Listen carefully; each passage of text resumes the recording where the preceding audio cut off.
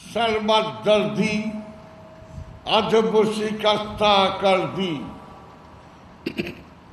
इमाम फिदाए चश्मे मस्ते कर दी उम्र के बायात अहादिस गुजरते रफ्ती और नेसारे বুত পারাস্তে করবি আপনার প্রধান খলিফা হজরত আমির খসরু এই কালামকে সামনে রেখেই আমার বক্তব্য, সামান্য কিছু কথা আমি বলছি।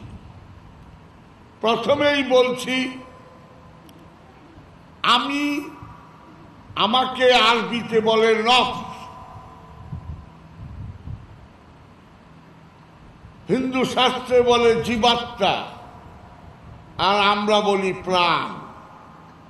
আমি, এই দেহের মধ্যে আমি। আচ্ছা। আমার সঙ্গে আরেকজনকে আল্লাহ দিয়ে দিয়েছে।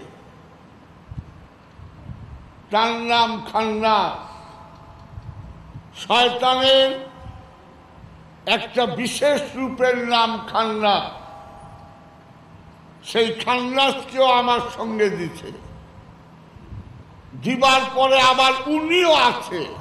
আল্লাহ স্বয়ং আমার সঙ্গে আছেন। এখন আমি একটা একটা করে দলিল দেব।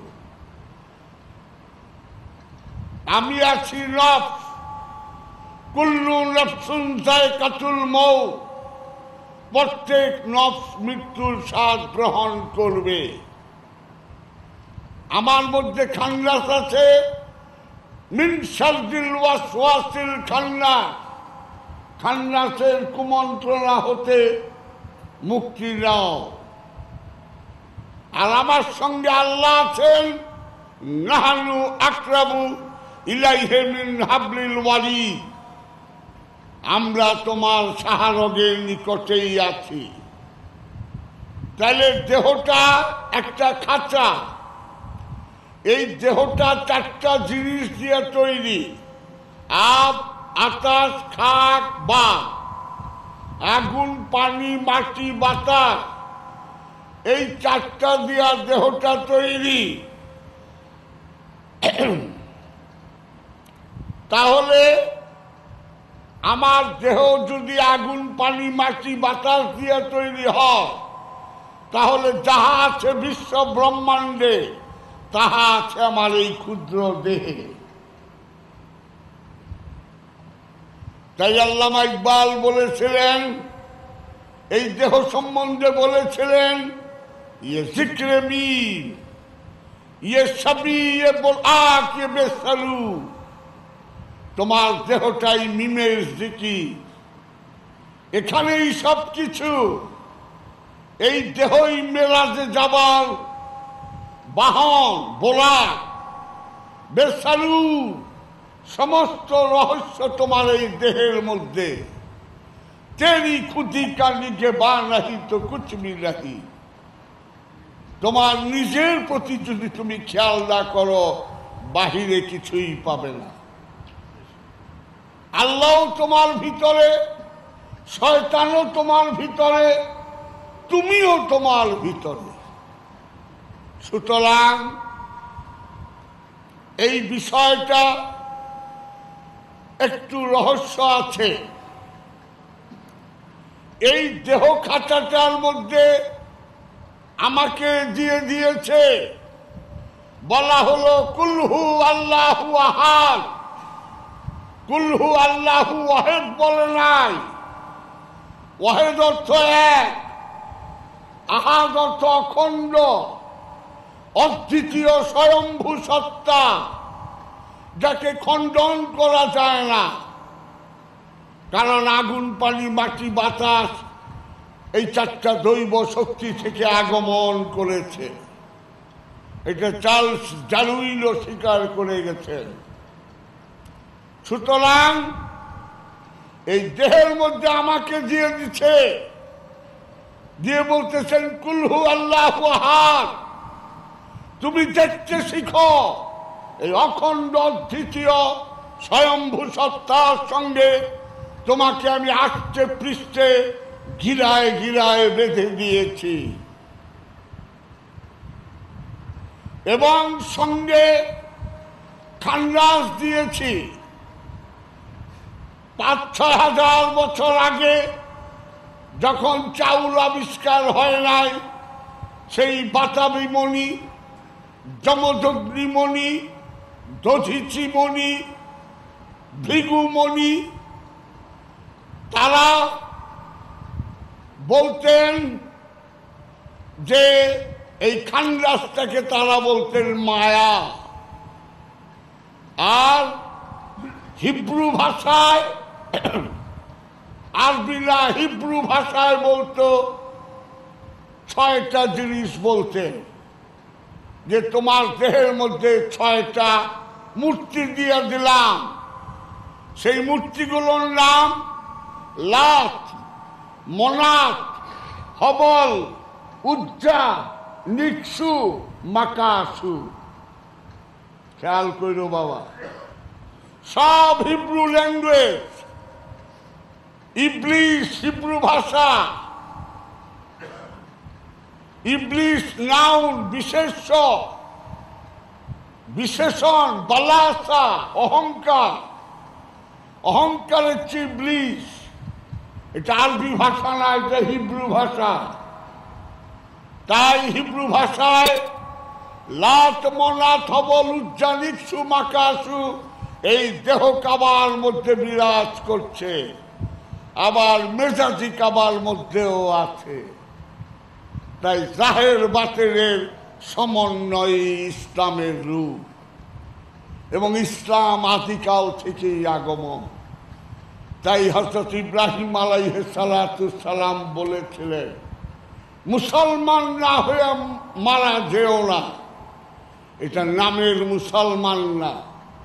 এটা গোত্রের মুসলমান না। এটা দলগত মুসলমান না। এই মুসলমান শব্দটি সার্বজনীন। এটা আদর্শের মুসলমান হওয়া। তাই এই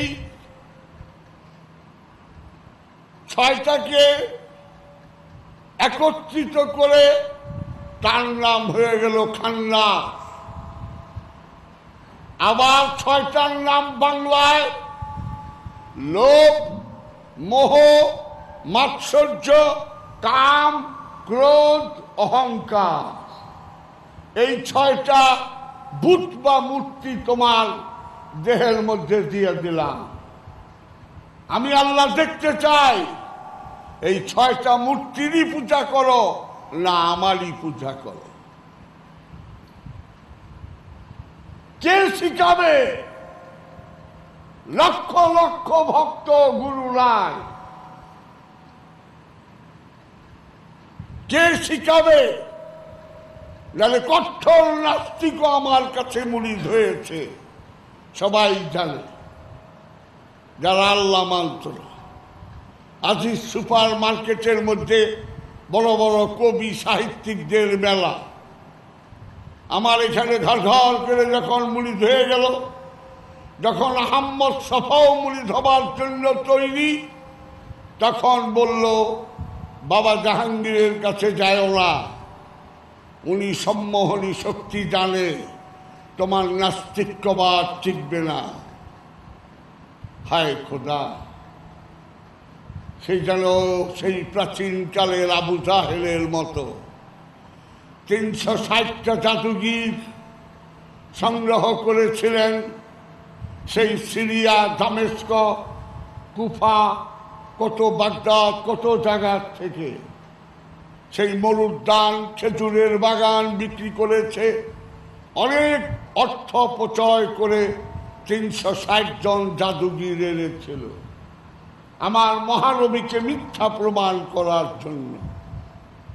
তিনশো ষাট জন জাদুগির যখন বলল জাদু জমিনে চলে, আসমানে চলে না। তখন বলল, এত দিনে তুমি সত্য কথা বলছো, ঠিক বলছো।